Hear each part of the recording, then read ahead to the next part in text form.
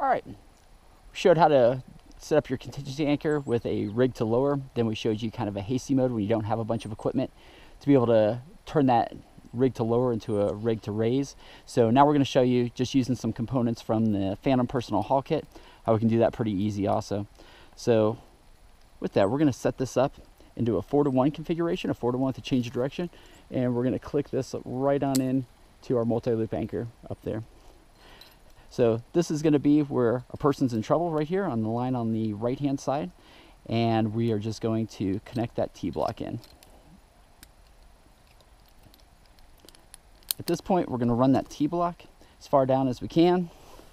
We're going to grab a Ropeman and this is going to act as the progressive capture once we release this rig to lower. So we're gonna ring that all the way down and realize that we can, if we wanted to, we could go even further down just by releasing that gate and pulling that down.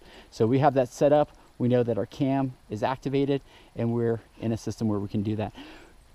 Now we're gonna release our load, just do a load transfer. We're gonna release that off our rig to low. So as we come in, we're gonna snap that down.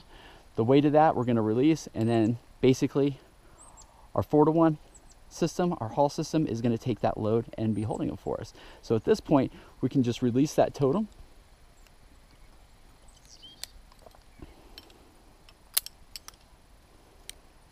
Now, what we're going to use that Ropeman for is we're going to use that as a progressive capture.